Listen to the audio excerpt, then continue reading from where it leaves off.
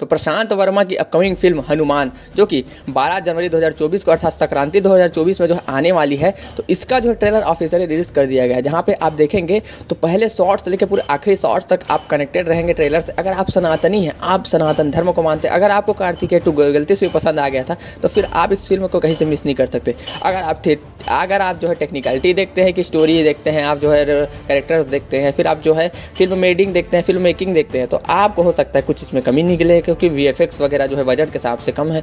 लेकिन अगर आप जो सनातनी है, आपको फ़िल्म देखना, सनातन धर्म पर गर्व के आपसे कार्तिकेय टू जैसा फ़िल्म चाहिए तो आपके लिए बिल्कुल है। क्योंकि ट्रेलर से आप देख सकते हैं कि हनुमान जी के जो जन्म स्थान को लगभग लगभग दिखाया जा रहा है, ऐसे बताया जा रहा है। और वहाँ पर हनुमान जी की मूर्ति के साथ ही तेज सज्जा की जो एंट्री है, और वहाँ जय श्री राम का जो जय घोष होता है कि किस प्रकार से एक समुद्र में जाकर उन्हें जो है कुछ प्राप्त होता है, रत्न जिससे उनको शक्ति मिलती है, ऐसा कहा जा रहा है। अर्थात सनातन धर्म को जो है मार्बल से कनेक्टेड किया जा रहा है, ऐसे बताया जा रहा है, क्योंकि मार्बल में जो है मड़ी मिलती है, अनंत मड़िया इन्फिनिटी स्टोन्स जिससे जो है उन लोगों को पावर मिलता है तो ऐसे बताया जा रहा है। तो लोगों का कहना है, कई लोग का इसमें कि ये सही भी है कि लोग कहते हैं कि हमें सनातन धर्म के वैदिक परंपरा से जैसे शक्तिमान में दिखाया गया था, मुकेश खन्ना जी को, कि यज्ञ हवन करके जो है पंच तत्वों को अपने आवश में करते हुए वो शक्तिमान बनते हैं। इस प्रकार से कुछ सनातन धर्म से जो है वैदिक परंपरा से, ऋषि मुनियों से जुड़े हुए कुछ हमें जो है इसमें जो शक्ति प्राप्त होते हुए तेज सज्जा को दिखाया जाता तो अच्छा होता।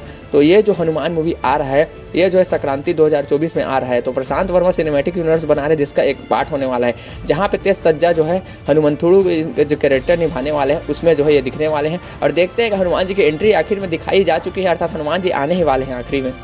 तो हनुमान जी की एंट्री को किस प्रकार देखा जाता है, उसमें वीएफएक्स का काम कैसे होता है, उनका जो भारी आवाज़ है, जो राम कहा जा रहा है, उसमें वो तो सुनने में बहुत ही एकदम रोंगटे खड़े करने वाला है। और विजुअल जो इफेक्ट्स कई सारे दिखाए गए वो भी बहुत अच्छे लग रहे हैं, लेकिन देखते हैं हनुमान जी को जो एनिमेशन दिखाया जाता है, किस प्रकार से उन्हें दिखाया जाता है, क्योंकि उनको जो है, उन्हीं के ऊपर पूरा आप सोच सकते हैं कि जो फ़िल्म जो पूरा है, वो हनुमान जी के ऊपर टिका हुआ है। जैसे कि जो कार्तिका टू देखते हैं तो उसमें स्टोरी चाहे घूम रहा है, कहीं भी जा रहा है, लेकिन वो श्री कृष्ण के ऊपर ही टिका था कि उनके अस्तित्व को ये लोग क्या सिद्ध कर पाते हैं, क्या बता पाते हैं। उसी प्रकार से हनुमान जी को जो है इसमें आना पड़ेगा और वो आते भी हैं ट्रेलर के आखिरी में दिखाया जाता है। तो हनुमान जी के ऊपर पूरा जो है फ़िल्म का जो है बोझ है फिर कहें भार उन्हीं के ऊपर होगा कि हनुमान जी को किस प्रकार से प्रयोग किया जाता है, उनको किस प्रकार से यूज़ किया जाता है कि फ़िल्म में जो है वो कैसे किस प्रकार के पात्र के समर्थन में आते हैं, फिर वो कब उनकी आखिर में उनकी एंट्री होती है तो किस प्रकार से इम्पैक्ट पड़ पाता है, ये उन्हीं पर डिपेंड करेगा पूरा। जैसे कि राम सेतु में आप देखेंगे, जो कैरेक्टर जो अंजनी पुष्प कुमार का अर्थात जो हमारे ए पी जो कैरेक्टर जो सत्यदेव निभाते हैं, वो उस प्रकार से थोड़ा मिलता जुलता प्रशांत यहाँ पे प्रशांत वर्मा के सिनेमेटिक यूनिवर्स में जो है, हमारे तेज सज्जा का जो कैरेक्टर दिख रहा है। तो एपी अर्थात सत्यदेव ने जो कैरेक्टर निभाया था, अगर उस प्रकार से इनमें इन, इस मूवी में उनको लिया जाता तो बहुत अच्छा शूट भी कर सकता था। बाकी देखते हैं कि तेज सज्जा किस प्रकार का परफॉर्मेंस देते हैं, क्योंकि वो युवा है अभी, और युवा जो है सिनेमेटिक यूनिवर्स को चलाने के लिए, बहुत सालों तक चलाने के लिए जो है अच्छे एक्टर होते हैं। तो देखते हैं कि किस प्रकार से हनुमान का जो प्ले रोल है, वो निभाते हैं, और किस प्रकार से मूवी जो है आगे बढ़ती है। हम चाहते हैं कि सनातन धर्म से जुड़े हुए गौरवशाली इतिहास को इसमें अवश्य दिखाया जाए।